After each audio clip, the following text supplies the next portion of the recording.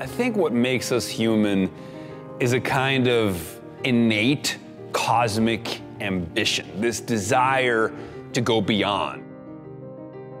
We're creating multiple exabytes of data every day. It is the ability to make decisions and contextualize our world based on this data that propels our species forward. Technology is fundamental in today's world. Sometimes we take it for granted, but it's what empowers us to make better, faster, smarter decisions. And all of this is only made possible by the network. How do we know this?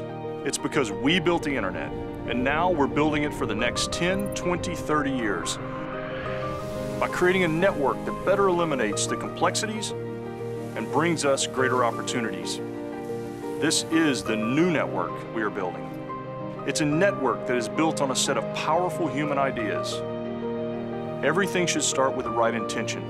What is it that you want to achieve? Intent allows us to translate business goals into action at scale by automating how we do things in minutes rather than weeks. This new network requires more context than ever before, more analytics and intelligence to turn raw data into insights. Knowledge about the world around us is extremely important. By identifying threats and opportunities and learning from each one, we can adapt quickly to achieve what we want. We can become intuitive. We assess situations and make decisions based on context. We are distributed intelligence. That is what makes us human, and that is what makes technology fundamentally a part of our humanity we are defining an entirely new era of networking, making the impossible possible and the unsolvable solvable.